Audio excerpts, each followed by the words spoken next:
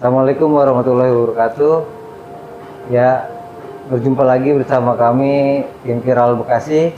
Kali ini saya bersama Bapak Bacalon Wali Kota Bekasi apa apa Pak? Makasih banyak Mas. Jadi eh, seperti tadi Mas katakan, Eh, apa Pak? bacalon. Kenapa bacalon? Karena posisinya memang semuanya di Kota Bekasi itu masih bacalon. Oke, Cuman baru ada orang satu partai doang yang sudah ada calonnya. Karena yang lain-lainnya masih bacalon. Ditentukannya nanti akhir bulan. Nah, gitu. Coba Bapak perkenalkan Pak ke warga Bekasi. Eh, Bapak sebagai apa Pak? Oh, halo masyarakat Bekasi. Nama aku Novel Salehilabi, biasa dipanggil Bang Novel. Jadi aku hari ini diundang nih sama Viral Bekasi ya sebagai bakal calon wali kota Bekasi.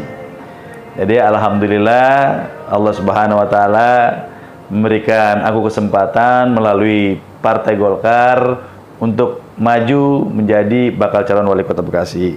Yuk kita rapikan kota Bekasi bersama menjadi kota Bekasi yang lebih baik. Silakan Mas. Gitu, Pak. Ini singkat aja Pak ya. Hmm, eh, ceritakan Pak perjalanan politik Bapak di Bekasi itu, Pak. Seperti apa Pak? Perjalanan politik saya di Bekasi, ya. Sebelum saya bicarakan perjalanan politik di Bekasi, orang nanya, Bang Novel, visinya apa sih? Iya. Ya, visinya saya itu Bekasi sejahtera, ya. Kotanya aman, warganya bangga. Kenapa Bekasi sejahtera? Karena saya melihat Bekasi ini kan kota. Tapi coba jalan sedikit aja, masih banyak kesenjangannya itu jauh banget Oh iya. ya. Padahal katanya kota, tapi yang tidur di alasan tanah aja masih banyak di kota Bekasi. Nah, berarti kesejahteraannya kesenjangannya jauh nih. Gitu. Makanya perlu kesejahteraan. Kotanya aman. Kenapa? Karena selama saya berkecimpung di kota Bekasi gitu ya, banyak sekali keluhan dari warga eh, banyaknya kejahatan. Ya, banyaknya kejahatan. Kenapa jahat kejahatan tinggi? Karena tadi ekonominya ya kurang baik. Biasanya kalau orang daerahnya kejahatannya tinggi karena perekonomian di daerahnya kurang baik. Ya kan penganggurannya tinggi. Makanya harus dijadikan kota yang aman. Nah, kalau rak- masyarakatnya sejahtera, kotanya aman, otomatis warganya akan bangga tinggal di Kota Bekasi. Kenapa? Ekonominya baik, tidak ada kejahatan, pendidikannya rapi, jalanan nggak rusak, kan gitu ya. Oke. Nah, itu bagian dari visi. Nah, terus perjalanan saya di eh, Kota Bekasi, ya, saya terjun politik itu di Kota Bekasi dari tahun 2017 ya Lama juga, Pak, ya? 2016 2017 cukup lama. Pada saat itu saya diminta oleh wali kota sebelumnya untuk membantu kota Bekasi. Untuk membangun kota Bekasi. Karena wali kota sebelumnya eh, kurang akses di tingkat pusat.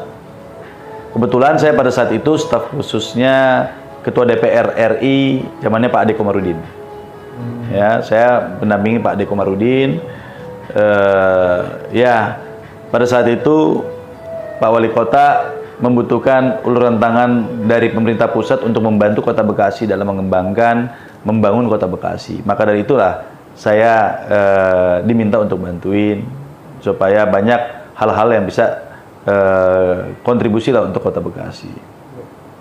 Dalam halnya pembangunan.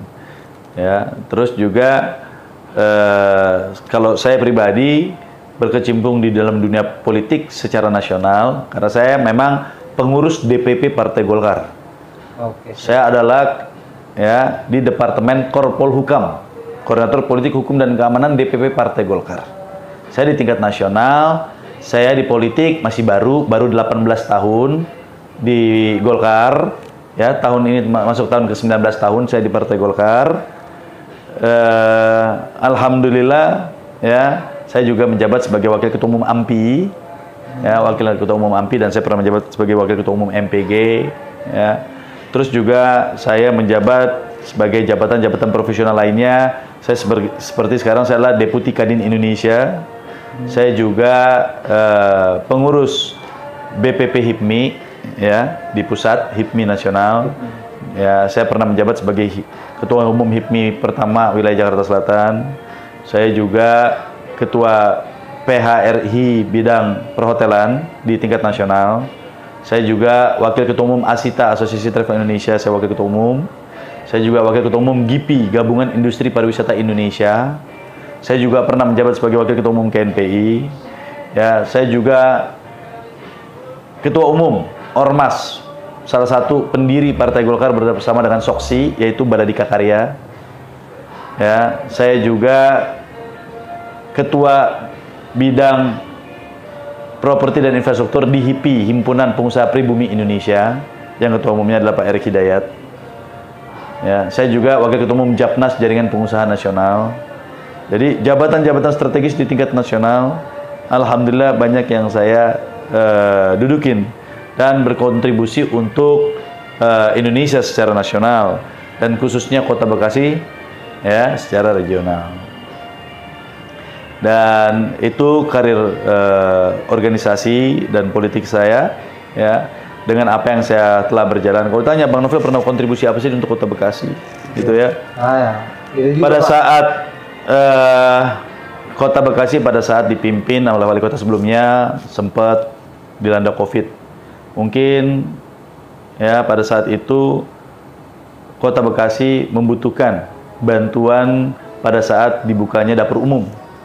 Ya, Ya. saya bukan bermaksud teriak, ya, tapi karena banyak yang nanya, Bang Novel pernah kontribusi apa sih, gitu kan ya, gitu ya. Pada saat itu untuk membantu supaya di dapur umum ini bisa memberikan kontribusi kepada masyarakat yang membutuhkan pangan, maka saya kasih bantuan secara pribadi ya, bukan saya ini kan swasta, bukan pemerintah, ya. Kalau orang misalkan menggunakan dana orang lain, ngebantu itu wajar Ajar. ya kan atau anggaran negara dibantu wajar ya tapi mencari orang yang mengeluarkan dari kantongnya secara pribadi ya Susah. itu ya mungkin abang lebih mengerti lah Iya, iya. di zaman covid gitu kan ya Iya, siap. pada saat itu ya saya bantu 120 juta untuk di dapur umum ya eh, supaya bisa membantu mengurangi eh, apa namanya eh, kebutuhan eh, masyarakat dalam pangan gitu ya. Kita bantu lah terus juga kita membagikan juga sembako kurang lebih hampir 5.000 ya. 3.000 lebih hampir 5.000 sembako yang kita bagikan ke masyarakat yang memang membutuhkan pada saat itu. Terus juga eh, hal-hal lainnya, contoh ada beberapa titik di Kota Bekasi pembangunan yang pada saat waktu itu membutuhkan akses di pemerintahan dalam pembangunan. Nah, Alhamdulillah dibantu oleh pemerintah pusat dan untuk mengatasi kebanjiran yang tadinya jalannya kecil, nggak punya turap, akhirnya miliki turap. Ya, terus ya, jembatan yang tadinya nggak punya jembatan, akhirnya dapat jembatan. Ya, RSUD yang tadinya nggak punya tempat tidur, akhirnya miliki tempat tidur. Gitu ya. Nah itu eh, banyak sekali eh, akses-akses yang diperlukan eh, dari tingkat nasional kepada eh, wilayah kan gitu ya. Terus juga eh, Bantar Gebang ya eh, bantuan dari DKI ya kan gitu ya yang sempat waktu itu alot sekali Iya. ya, ya akhirnya bisa berhasil eh, dapat bantuan dari pemerintah eh, DKI Jakarta kepada Kota Bekasi. Nah itu kan perlu eh, apa namanya akses-akses. Nah inilah yang yang kita bantu komunikasikan, ya kita bantu memberikan akses sehingga bisa dirasakan dan bermanfaat untuk pembangunan Kota Bekasi dan mensejahterakan masyarakat Kota Bekasi. Nah inilah pentingnya. Karena apa? Seorang pemimpin itu kan tidak boleh hanya bisa untuk mementingkan pribadinya atau kelompok saja, tapi bagaimana perannya dia bisa membantu masyarakat banyak dan bisa dirasakan oleh masyarakat banyak. Nah, itu yang kita lakukan dan juga saya punya binaan disabilitas. Penting sekali kita ya untuk eh, memperhatikan masyarakat kita ya eh, disabilitas, saudara-saudara kita disabilitas harus kita perhatikan. Ya, jangan kita kesampingkan karena mereka juga punya potensi-potensi hebat untuk membangun kota. Maka kita harus memberikan ruang dan peluang untuk mereka bisa berkarya dan berkreasi. Ya, pada saat itu saya juga memberikan kesempatan kepada mereka ya yang walaupun mempunyai kekurangan secara fisik tapi mereka tidak pernah merasa eh, apa ingin dikasihani. Maka mereka saya melihat apa? Tidak menjadi mohon maaf eh, orang yang eh, dalam arti kata kutip tidak ya meminta belas kasihan dengan meminta-minta, tapi mereka bahkan mau menjual eh, apa namanya jasanya. Ada yang menjadi tukang pijit, ada yang menjadi jasanya jual kerupuk, ya dan lain-lain dengan keterbatasan mereka, ya. Nah, mereka ini dengan segala kekurangan fisik tapi tetap mau berkarya di dunia usaha UMKM. Nah, karena saya melihat itu, kita saya memberikan apresiasi lah kepada mereka. Apa mimpinya mereka? Pada saat itu mereka 2019 menyatakan mimpinya adalah peringin sekali ke tanah suci, umroh. Umroh. Alhamdulillah, saya kembali lagi bukan untuk ria, ya, tapi karena saya ditanya apa yang saya kontribusi kepada Kota Bekasi, saya memberikan reward kepada teman-teman disabilitas, para tunanetra, ya, 35 tunanetra dan 15 pendamping umroh gratis, termasuk uang saku untuk mereka bisa ke tanah suci. Dan alhamdulillah sudah terlaksana di 2020. Jadi tidak perlu menunggu saya menjadi wali kota dalam melakukan program-program kebaikan untuk masyarakat Kota Bekasi. Maka Iya, kita perlu ya melakukan suatu kegiatan itu jangan menunggu punya jabatan. Siap bang. Nah, tanpa jabatan bisa melakukan nggak? Oke, siap, Apalagi nanti kalau punya jabatan kan begitu? Ya bener bang. Nah, itu ya. Bang, ini bang, kita mau nanya nih.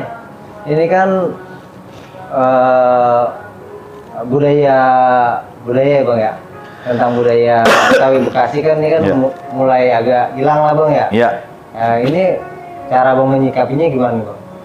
Contoh kemarin saya hari Minggu mendukung ya eh, acara Pemuda Bekasi berkreasi, yaitu acara budaya. Ya, saya selalu menggiatkan ya acara-acara budaya di Kota Bekasi, nggak boleh hilang. Kenapa? Sebuah kota, sebuah daerah yang hebat Ya, itu karena budayanya hebat. Ya, budayanya dikedepankan. yes. Ya, karena budaya ini benteng. Ya, Siap. benteng satu daerah. Jangan sampai bentengnya ini hancur. Hmm. Karena kalau budayanya hancur, otomatis daerahnya pasti akan hancur. Ya, kita harus menjaga. Para pemuda ini harus menjaga. Bagaimana cara menjaganya? Bagaimana cara mempertahankannya? Pemerintah harus mempunyai konsen, mendukung, memberikan eh, aturan-aturan perda.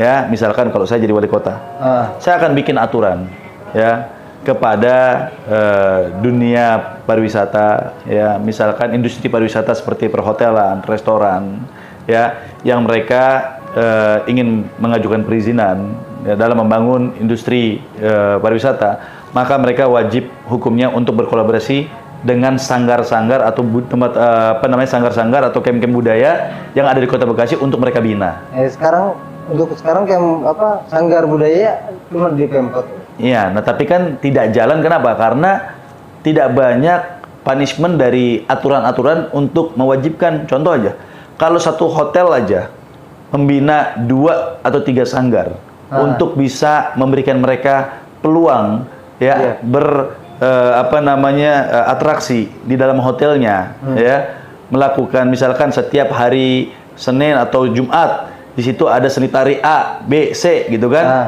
yang untuk welcome di hotel bintang 4, 3, 5 misalkan, ya kan? Nah, itu kan bisa menyerap tuh para tarian-tarian. Itu menjadi welcoming untuk orang-orang masuk dalam hotel. Terus juga misalnya angklung, penyanyi angklung kan gitu kan dan lain-lainnya. Nah, itu akan eh, menyerap mereka semua, ya. Kalau perlu di tiap kecamatan kasih Bukan bukan cuman setiap kecamatan, jadi semua eh, industri pariwisata yang buka restoran, tempat-tempat eh, apa namanya apa pun itu ya kita akan mewajibkan mereka kalau untuk memperpanjang izinnya mereka harus melampirkan kegiatan-kegiatan mereka me- apa namanya menggandeng sanggar-sanggar tersebut. Sehingga apa? Perekonomiannya akan jalan budayanya akan terus dikedepankan. Contoh mas kita makan misalkan eh, di di Bekasi ini kan banyak tempat kuliner. Ya kuliner pinggiran. Bagaimana kuliner pinggiran itu yang disahkan oleh pemerintah kota? Oke, kita kasih nih tempat kulinerannya di sini lokasinya. Iya. Terus di situ siapkan panggung, panggung budaya. Nah, setiap malam eventnya tinggal diatur. Sanggar mana sanggar mana mengada, me- mengadak- apa, mengadakan eh, konsernya mereka. Ah, Nah itu kan nyambil makan kita di kulineran di pinggir jalan, tapi kan melihat atraksi-atraksi. Iya. Nah mereka dibiayai oleh pemerintah, ya kan? Dan juga mungkin uh, ada tips-tips lah dari uh, teman-teman yang makan yang mau. Nah ini kan juga membangun perekonomian, Iya. ya kan? Berjalan lah. berjalan budaya, mengembangkan budaya juga. Contoh Bali, kenapa sih Bali itu kuat? Banyak orang datang karena budayanya kuat, budayanya dijaga. Nah, Kota Bekasi juga begitu. Pemerintahnya harus mendukung budayanya, harus menjaga budayanya. Sehingga ini menjadi kekuatan ekonomi di Kota Bekasi. Maka perlunya pemerintah membuat perda-perda yang menguatkan budaya yang ada di Kota Bekasi. kalau menurut abang nih infra apa pembangunan di Bekasi ini sudah cukup apa masih ada yang perlu dibangun lagi? Kalau pembangunan itu eh, tidak pernah cukup. Kenapa? Pembangunan itu harus terus up to date dengan penge- eh, perkembangan zaman. Maka di Kota Bekasi ini perlu sekali pembangunan yang merata. Karena pembangunan Kota Bekasi kita melihat masih kurang merata. Masih banyak daerah-daerah yang nggak jauh dari tengah kota masih belum terambah eh, masalah infrastrukturnya. Terus juga di daerah perkotaan infrastrukturnya masih kurang baik, jalanan yang rusak dan lain-lain. Nah ini penting sekali untuk kita merapikan ya jalanan-jalanan yang memang sekiranya perlu dirapikan kembali sehingga tidak menjadikan kemacetan atau bahaya kecelakaan eh, lalu lintas. Ya, terus juga bahayanya banjir. Ya, Nah, ini ini penting sekali gitu. Nah, ini infrastrukturnya harus dibangun, tata kotanya harus dirapikan, ya. Tata kotanya harus dirapikan, mana yang jadi penyerapan eh, apa namanya eh, penghijauan gitu ya. Terus juga mana yang memang menjadi tempat eh, industri atau pembangunan eh, apa namanya eh, office, perumahan dan lain-lain. Ini harus ada zonasinya. Nah, jangan ditabrak-tabrak. Nah, di sini bangun pabrik, ya di sini juga ada apa namanya tempat perumahan atau macam-macam, gitu kan? Nah ini mesti di clustering. Mana yang bagian pabrik, mana yang bagian perumahan, mana yang bagian office, mana yang jadi ruang terbuka hijau, ya, mana yang bagian pendidikan. Jadi ini nggak boleh ditabrak, sehingga apa? Bisa mengurai kemacetan, ya. Iya. Terus juga jalanan yang tadinya sering hancur bisa nggak hancur. Kenapa? Karena jalan ini memang jalanan infrastruktur khusus untuk ke perumahan. Berarti truk-truk nggak boleh lewat situ. Karena otomatis daya apa namanya daya aspalnya tidak sekuat jalanan yang menuju ke industri. Gitu. Nah, ini ini ini penting clustering gitu Clustering, ya. ya. Clustering eh, tata kotanya Tata kotanya. sehingga berdampak terhadap untuk spend anggaran terhadap eh, pembangunan eh, jalanan gitu untuk PU-nya. Nah, ini ini per- penting sekali.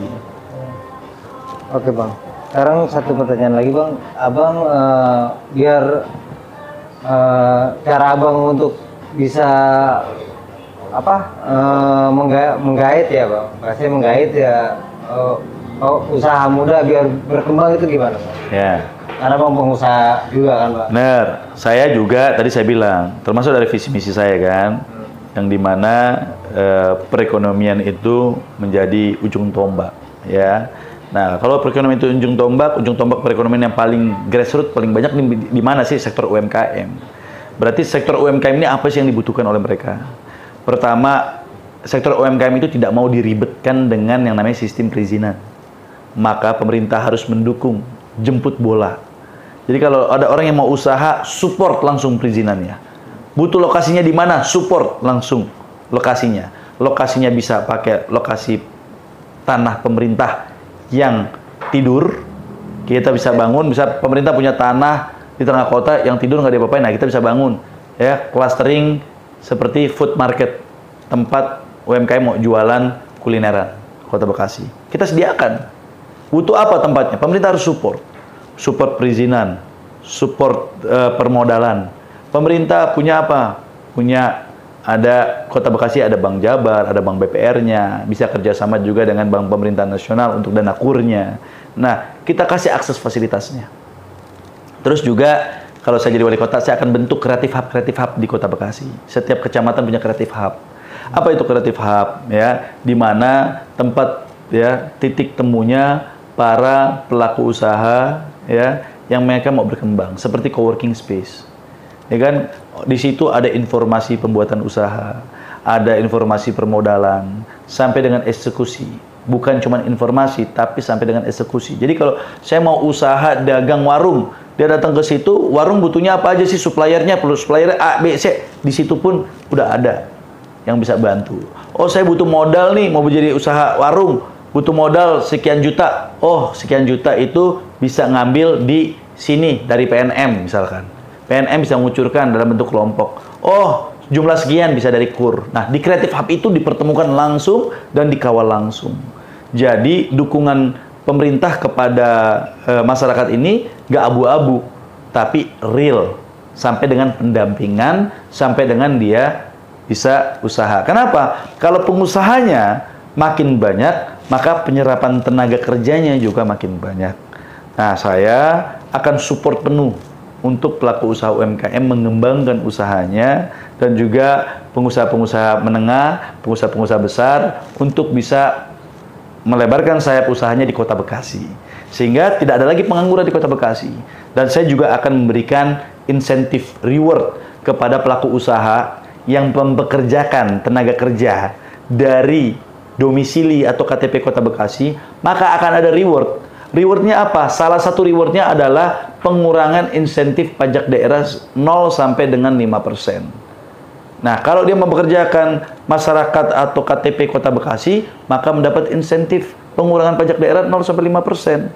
Yeah. Nah, otomatis dia akan mendahulukan para tenaga kerja yang berdomisili Kota Bekasi. Yeah, betul. Karena kalau dia mempekerjakan KTP yang non Bekasi, maka pajaknya tetap atau sama dengan plus 0 sampai dengan 5%. Mau nggak mau pengusaha kalau mau untung, dia akan mempekerjakan yang KTP Kota Bekasi. Nah, itu salah satu solusi untuk bisa mengurangi pengangguran di Kota Bekasi menyerap tuan rumahnya sendiri. Oh, gitu. Dari generasi Gen Z sampai yang tua boleh bisa. Oh, iya, semuanya dan bisa. juga kita menyiapkan program juga untuk pensiunan. pensiunan. Ya, bagaimana Oke, iya kan para pensiunan ini ya uh, yang sudah tidak bekerja ya orang-orang yang memang sudah uh, tidak ada punya tenaga untuk bekerja kembali Nah, mereka ini harus disupport oleh pemerintah. Ya, misalkan dia punya anak, anaknya masih muda, masih belum bisa, itu pemerintah harus support. Support memberikan insentif terhadap listrik yang memang uh, listrik itu di uh, bawah uh, aturan yang memang nanti kita akan bentuk, ya kita buat. Jadi kalau listriknya sekian watt, dia akan dapat subsidi. Ya kan dianggap orang tersebut nggak mampu dan digunakan untuk kelayakan hidup, maka perlu disubsidi. Terus Eh, kita akan memberikan pendidikan gratis kepada eh, anak-anak uh, muda yang di Kota Bekasi yang mau sekolah. Ya, sekolah itu gratis bukan hanya dari tingkat semula dari tingkat TK, SD, SMP, SMA kita gratiskan. Bukan cuman yang di negeri, tapi yang di pihak swasta yang terdaftar di Pemkot. Ya, nantinya kita akan mengklaster.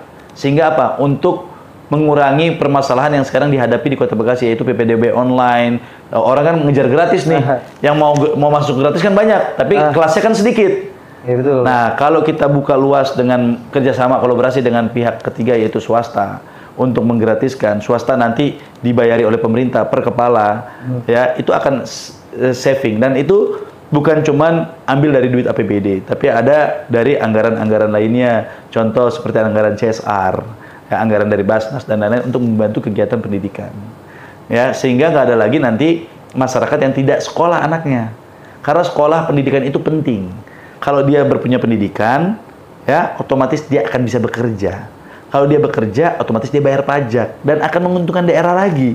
Maka kalau kita mau menjadikan daerah kita jadi daerah yang besar, maka jadikan seluruh SDM di Kota Bekasi ini apa SDM yang profesional, SDM yang siap kerja, sehingga tidak menjadi beban kota, bahkan menjadi pendukung kota. Maka apa? Pendidikannya gratiskan. Bantu pendidikannya. Ya. Gitu. Nah, kalau misalkan swastanya digratiskan, pemerintah yang bayar untuk yang lulus sekolah. Kalau yang tidak lulus sekolah, ya mereka harus bayar. Sehingga apa? Gak perlu lagi kita punya anggaran pembangunan sekolah negeri. Tapi anggaran tersebut dialokasikan untuk kolaborasi dengan pihak ketiga, ya, yaitu swasta, Ya. Untuk apa? Untuk kita bayarin uang sekolahnya ya. kepada masyarakat. Hmm. Sehingga apa? Pemerintah nggak perlu lagi ya takut terhadap apa? Karena pembangunan itu biasanya rentan dengan korupsi. Kan gitu. Iya. betul. Pembangunan itu ya cawe-cawe A, cawe-cawe B. Nah, itu rentan. Apalagi di dunia pendidikan ini kan banyak. Nah, ini nggak boleh nih. Makanya kita kolaborasi dengan pihak swasta. Biar yang membangun sekolahan pihak swasta. Iya betul. Nanti yang ngisi anak sekolahnya pemerintah yang bayarin. Kalau dia lulus. Kalau nggak lulus dia bayar sendiri. Nah, itu punishment. Reward and punishment. Oh, ya, sehingga kalau- tidak membakar uang anggaran negara. Siap, ya. Dan terus setiap tahun pemerintah tidak perlu ngeluarin anggaran eh, pemeliharaan Iya. anggarannya bisa di saving ya kan anggaran pemeliharaan tadi bisa di saving untuk menjadi anggaran lainnya kan Iya. gitu nah ini ini sangat sangat bagus sekali sebenarnya dan ini dan kalau swasta otomatis dia bayar pajak uangnya kembali lagi ke daerah lagi gitu nah ini ini yang kita akan bangun Oh gitu. Ini kalau boleh saya tanya bocoran sedikit Pak. Kalau siapa sih Pak mau digandeng calonnya? Ya klunya aja ya Pak. Kalau misalkan eh, menggandeng siapa pun intinya satu. Ya orang yang memang eh, mempunyai pengalaman.